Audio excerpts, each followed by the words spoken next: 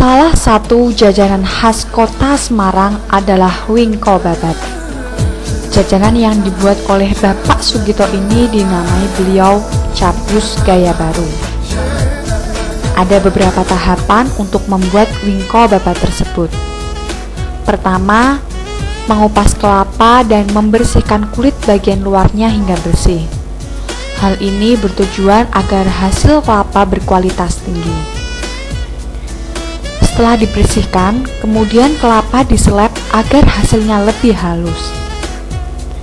Tahap selanjutnya, hasil selepan tersebut dicetak bulat-bulat. Dari sini kita dapat melihat cetakannya telah menyerupai wingko babat.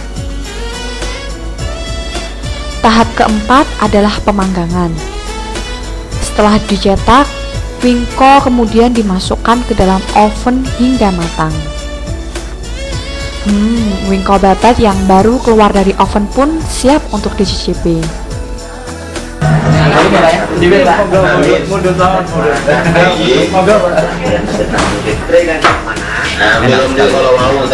Wingko babat Semarang memang benar makanan khas dari Semarang.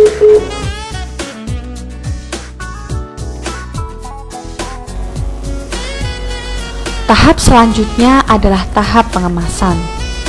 Wingko yang telah benar-benar matang siap untuk dikemas dan dipasarkan.